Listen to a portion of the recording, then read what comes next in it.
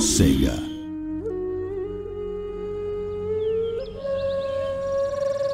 Great Spirit, long ago I had a vision. Our fields were green, our rivers pure, and our food plentiful. But darkness came and covered the world. When the first white men arrived, we welcomed them. But the tide of the white man could not be stopped. The few became many, and they brought guns. They brought sickness. They brought war. So we fought them.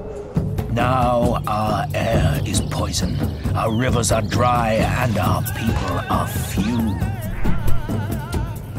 Iroquois, Huron, Plains, Pueblo, and Cherokee are scattered as seeds in the wind.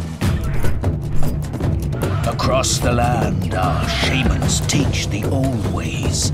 Our scouts go among our enemies, spreading doubt and fear. We know their ways of iron, their battle skills, and their weapons, and we have made our own.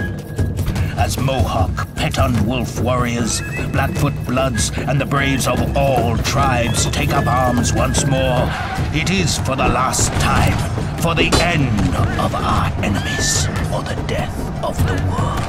Great Spirit, we need your strength and wisdom.